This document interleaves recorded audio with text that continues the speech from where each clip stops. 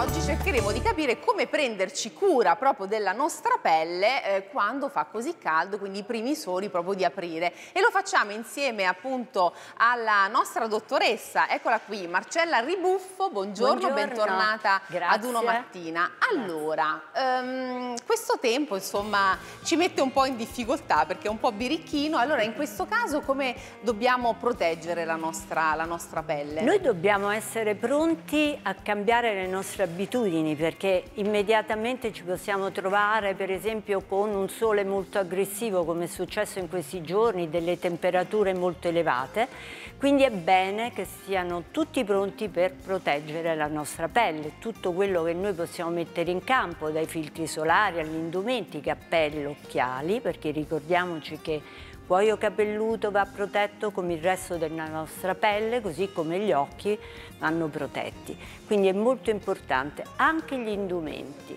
Quello... Ecco. Questo è molto importante. Vediamo la seconda domanda, perché non abbiamo preso il sole per diversi mesi e quindi dobbiamo preparare anche la nostra pelle a queste giornate così calde, a Certamente. questo sole così forte già ad aprile. Certamente. Cosa facciamo? Dobbiamo utilizzare degli integratori che noi dermatologi consigliamo proprio per preparare e rafforzare la nostra pelle per lo scontro con il sole e chiaramente utilizzare dei filtri solari che vengono sempre indicati a secondo il nostro tipo di pelle. Cambiare anche le nostre abitudini cosmetiche. Non usiamo più le creme invernali, possiamo utilizzare per esempio i gel a base di acido ialuronico e anche la nostra dieta, frutta, verdura, dieta mediterranea di base.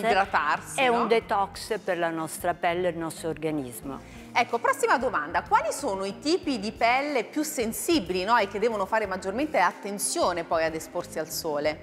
I fototipi chiari, che sono quelli che si scottano sempre e non si abbronzano mai, persone che hanno familiarità per melanoma, persone che fanno terapie con antipertensivi, antidepressivi, patologie autoimmune, quindi chiedere sempre al proprio medico se ci può essere un'interferenza fra farmaci e sole. Ecco, altra domanda. Dopo aver quindi conosciuto che tipo di pelle abbiamo, a questo punto, eh, insomma, che tipo di prodotti dobbiamo usare per proteggerla? Sempre i filtri solari, noi consigliamo di utilizzare delle alte protezioni e non stare al sole a lungo perché ricordiamoci che anche con una protezione alta noi non possiamo stare più di un'ora e mezza, due ore al sole.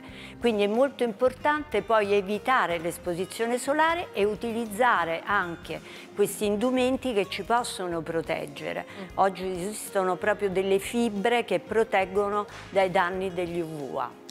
E Ecco, eh, prossima domanda, se abbiamo invece eh, dei nei oppure insomma abbiamo del- insomma, delle altre, dei, come si chiamano, gli efili, gli efili Le felidi. I felidi, esatto. Le lentiggini. Eh, cosa dobbiamo fare per esporci al sole?